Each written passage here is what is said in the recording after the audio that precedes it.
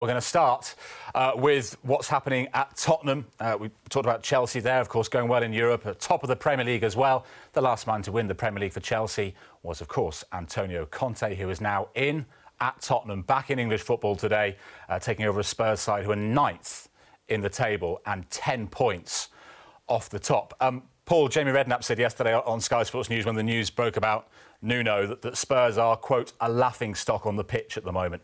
Does the appointment of Conte mean that they are now going to be taken seriously again? I think it will take time. I don't, I don't, I don't, don't think this is a come in, change a manager, change, change a voice, and it will change in one game. I, I'd be shocked. I think what I've seen over the last couple of the weeks, this team is in disarray. Uh, I think they're all over the place. I think, what is it, one and a half games or so without a shot on target? Well, that's not Tottenham, especially when you've got Harry Kane and Son in the team. I think this is going to take a lot of hard work. I think there's going to be a lot of players there thinking, oh my God, this is going to be stop, start, wait there, you get there, stop. You ask all the footballers here. you just want to train. This is going to be stop, start, starting all over again.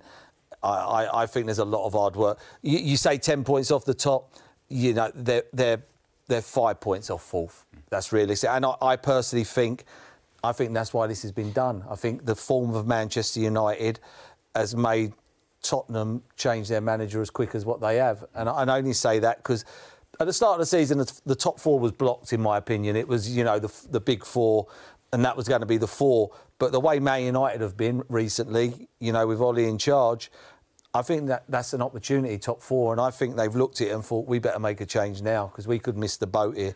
And I, I think if Man United were flying along now, I, I don't think they would have made a change.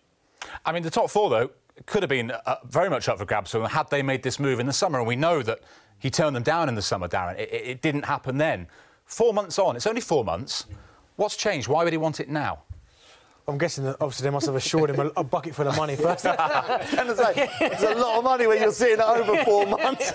Honestly, they must have offered him a lot of money, and there must have been assurances, certainly this time oh. around, that he wasn't given in the summer. I mean, of course, we know how quite tight the purse strings are down at Tottenham, but listen, if you're going to get a manager like Antonio Conte, you've kind of got to relinquish a little bit the, the, the power in terms of you've got to let him do what he does, because we've seen that when you do that, the results. Look at what he did at Chelsea.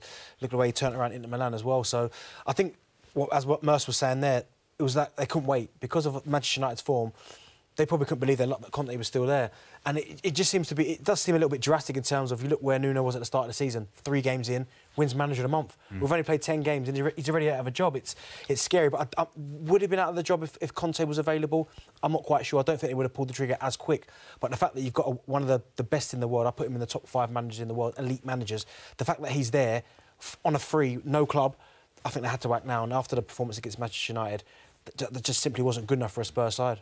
Jules, I, I actually think if you go back to the start of the season where Spurs were looking for managers, I mean, there was lots of names that were branded around, wasn't there? No one wanted the job, and I think what stood out a million miles was Harry Kane mm. didn't know where he, whether he was going to be there, whether he wasn't going to be. So, I think that was a big decision for Conte. Then, really, when you think to yourself, you take Harry Kane out of the equation, start of the season where are you going? Who can you bring in to supply the goals? We, we know he hasn't done that so far, but he would be a big well, a big card in, in, in, the decks for me, for him to come in. And, and I think that's why he didn't actually come in back then. And obviously, but, they landed Nuno. Yeah, eh, but you think he's, he's took the job now, three months into the season. If you'd have took it at the start of the season, he was up against it to get in the top four. He was up against it. Yeah. Now he's taken a job where they have a chance of getting in the top four with him there, and he gets in and gets Harry Kane scoring, and he, he's done an unbelievable job. I mean, it, it, there's chances. There is. I mean, I just think, and I don't want to sound disrespectful here, as long as Solskjaer is manager at Man United, everybody else has a chance, in my opinion of getting in the top. Do you know, four. it's almost taken the heat off Solskjaer a little bit, and no, not even Solskjaer, because it's a little bit unfair. The Manchester United board, because now they don't yeah. have to do anything. Mm. Because yeah. if if Conte's still there, the longer Conte's still there, and the mm. results ain't going great, the performances are not great. There's always that. Well, Conte's sitting right there, go and get him. But the fact that he's now the last kind of elite manager that's off the table, all of a sudden they can go, well, we can't just sack him because where do we go from there? There's, there's, there's no other managers to go to. So if anything, it's, it's bought Ole a little bit more time. Mm. I mean, we'll talk more about Kane and what he might do with Kane in just a moment. But you know, you think Conte? Here's a guy who deals Glenn in league titles: Chelsea, Juventus, many of them, Inter. But this is an 18-month contract. Yeah. is he going to turn Spurs into title contenders in 18 months? No, I don't think he's a magician. Um, you know, he's got, he's got his work cut out for sure. Um, but, you know, I believe he could be the right man for the job. Um, I think he's going to be the sort of manager that's going to burst through the door, you know, put his, you know, put his flag in the ground and just make a few people stand up. Um, I think he's going to ruffle some feathers.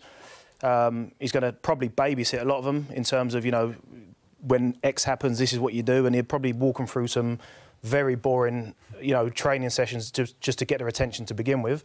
Um, but I think once he gets them playing, because for me they've got a few good, you know, they've got some decent players. They should be performing a lot better than they are. So I think if he can get them playing, then I think they will certainly close the gap. But at the moment they're they're miles off it. George, you got. I mean, you got to say as well. When Nuno came in, he came in with that accreditation, accreditation from Wolves, didn't he? Well, he built that Wolves side. So, I mean, the thing is, he's come into that Spurs change room. No disrespect, I'm not saying he couldn't manage bigger players, but uh, Wolves, in comparison to Spurs, it's, it's a bigger job. The expectations are there, and I, I feel for Nuno, I really do, because I, I felt he did a fabulous job at Wolves.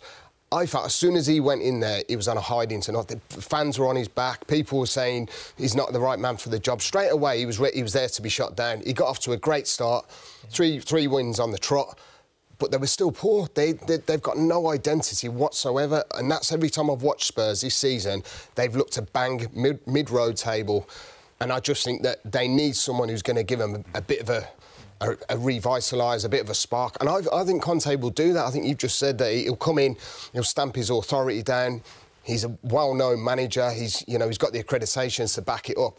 I think that he will make a. I'm not saying he'll go and put him in the top four, but I do think he'll push him back up towards the league, and I think he'll get response out of the so-called bigger players like Kane, Son, uh, who, who they need. Do, do you know what as well? I think Nuno did have his identity for one game, and that was Manchester City. I think that's the only time you saw Yeah, it where first- he wants to play that kind of counter-attacking football. But the moment he wasn't forced to bring back Kane, but of course, when you've got one of the best strikers in the world available, you've got to put him back in the team. But I think Nuno wanted to play that way against Manchester City, where you sit back, pragmatic like he did at Wolves, Yeah. when he got the pace of Son. Bergwijn, Moura, just sitting back in there and hitting teams on a counter attack. The moment kind of Harry Kane came back, he couldn't play that way because obviously, unfortunately, Harry Kane can't play that way. So, as Lee was saying there, he was on a hide to nothing after that. I mean, I mean, Nuno couldn't get the best out of Kane this season, and Conte will hope to do that. But if we look at the figures, I mean, the drop off from Kane at the start of, of last season, the figures on the left here, to Kane at the start of this season, first nine Premier League appearances, seven goals in nine starts last season, uh, 140 minutes per goal, 38 shots, nine assists. And look at the figures on the right eight starts, one goal, 738 minutes per goal, and the one assist. Um, Merse, Conte said in the summer if Kane was his player, he'd just make sure he stayed in the box, not keep trying to do everybody else's work and dropping deep. Is it as simple as that for Kane?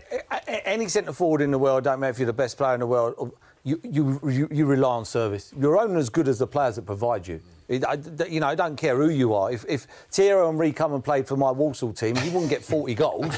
he just wouldn't. You That's sure, fact. Sure? Yeah, he, he wouldn't. Thierry. But he wouldn't. Do you know what I mean? You, you, you know, he's got the players he's got behind him. This is no disrespect in Skipp, uh, Hojbjerg, uh, Celso.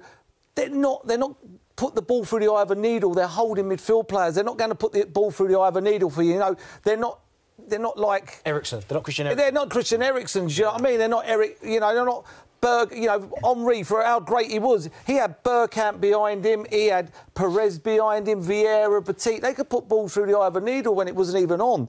You know, I know you've got to finish him, but, you know, I, I, I understand where Harry Kane's coming from. He's dropping off. He doesn't trust the players that are playing in midfield. I'm sorry, he doesn't, and he's not getting the service. It's all right, say, stay getting in the box, but they've got to get up the pitch first. You know, that's that's pretty hard to do what they've done in the last one and a half so games is not have a shot on target. That's it's near on impossible. unbelievable. It's near on impossible. If you said to someone, I want you to do the next one and a half games, I don't care who you're playing against, have no shot on target, you find that very difficult. But it's like it's like uh, Calvert-Lewin at Everton. When Ancelotti came in there, he wanted him to play through the lines of the box, through the six-yard, 18-yard box. Stop going out wide. You, you, you're nothing to us. But as Mer said, he had the service that he was getting provided with. So it's all right saying.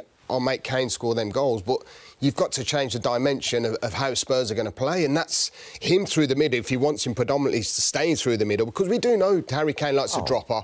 We see. I mean, let's not forget last season how many he was a top assists in the Premier top League, assist, top goal A scorer. top goal scorer. Everybody's so he's capable of now doing everybody's it. saying get in the But box. that's what I mean because Spurs are not doing what they what they should be doing, and Harry Kane's got one goal this season, which I think that's his twin brother's stats. To be honest, Jules. I, I, I think I think I think Dele Alli has a chance. If Dele Alli gets back to doing what Dele Alli can do and what he's best at, is get making runs and getting in the box and But how long have we been goals. saying that, Merse, now? Uh, well, but you hope the penny drops with the lad. You know, I, it might be one of them lads who needs his arm put round him and say, right, you know, I need you in the team. If I, if I was a manager, that's what I would be saying. I, I'd put my arm around him and say, I need you in the team. You, you know, you were playing for England. You were one of the first choices for England before. I'm not saying it's his fault that they're not doing what they're doing, but this kid's career is just going to just fade away. Where'd you go after Tottenham? But, Merse, you're not going they- to Man United, Liverpool, Man City, or Chelsea. Yeah. You know, after that, you're drifting bottom half, and he, he, this kid can play. The hardest thing in the world is to run from midfield and score goals. How many of them are there about? There's been Frank Lampard, David Platt, and I, I can't think of too many off the top of my head who can do that job, and he can. And he, at the moment, he's coming short, and he's a bit like Harry Kane. He's trying to get on the ball and spray it around. But do you not think Nuno tried to do that with him? Because he Ah. did actually get him in the side. He didn't got him in the side, and- but I never, I, I never see him run Yeah. beyond once. No, never- I didn't- I didn't never see the same, run. so- you know, I go back to off the top of my head, Everton away when it, when the ball comes over, he volleys it in. he was he was unplayable. To be fair, you know, Mourinho- no one likes. We played we're playing the game. No one likes chasing. Glenn played at the back. No one likes chasing anybody back who hasn't got the ball. You know, it's the last thing you want to do, run with someone who ain't got the ball, but you have to go with them. And he just constantly kept on going, and he can finish. He's an unbelievable finisher for a midfield player. I think Mourinho got it out of him when he first came to Yeah. Spurs, didn't he? Where he, had, he scored that goal against United, where it was unbelievable touch over his head. Mm. So I think Mourinho at first put his arm around him, and I think Dele started to get. He started to get the best, the old Dele Alli back, but again, it started to fade away, fade away. But maybe Conte needs to go in there. And when you start looking, as Mercer was saying, at the midfielders they've got Skipp, he's a holder, Hojbjerg. You need a bit of creativity in there from somewhere, and Dele Alli can do that. So if you can get him onside, that's half the battle because the connection him and Harry Kane had a couple of seasons back was unbelievable. Yeah. Like, he, Harry Kane would drop in and Dele Alli would in behind all the time. Even the goal against Chelsea was it where he scored two at the bridge, where it mm. goes over, brings it down, finishes it off. If somehow Conte can get them two in tune, and then with Son, Lucas Moura, that that kind of front four, they will win you games. Mm. And all we've got to do now is worry about the, the holding midfielders Yeah. behind. Yeah, but you have got the likes of Ndombele as well, Yeah. who's, who's capable of doing that role and playing in that role, but it's, it's not consistent enough, and that's where they, are, they are coming, they're falling short. That's why Kane's not in double figures already, which we know at this stage of the season, he's got mm. Double assists and, and double goals, so it, and it's not happening. So there's got to be something that's got to change at Spurs, and I think I'm, I would agree with the guys. I think he's got to go in there and utilise the whole squad, get everyone together, and try and get the best out of the players that have almost been fringe players. I mean, every, Sorry, I think the thing is as well, some of it needs to be looked at for Dele as well. You know, because Yeah. the, it's not down for the manager to just go and you know make a player start playing out of nothing. The player needs to demand something from himself in the fact that if I'm Dele Alli and I'm watching these midfielders play in front of me every week, Yeah. I'll, you know, I won't be able to sleep. Yeah. You know, so then that'd be down for me to do something in training to make the manager have to pick me. Mm. You know, it's not for a, it's not for me to wait for a manager to get sacked, hope the new guy plays me. Mm. You need to do something about it today. Just a final brief thought. Um, Daniel Levy went for, for Mourinho. That didn't work. After Pochettino went, he went for Nuno. That didn't work. He's got Paratici in place now, and now he's got his man Conte. Mercy, is- is this a final throw of the dice now for, for Levy? No, Daniel Levy will be there as long as he wants to be there. I mean, he's never, you know, you, you, you got to think where Tottenham were. I mean, it weren't too long ago we were thinking they could win the league. They're in a Champions League final. You know, they, they, they were playing in the best stadium in the world, if not one of the best stadiums in the world.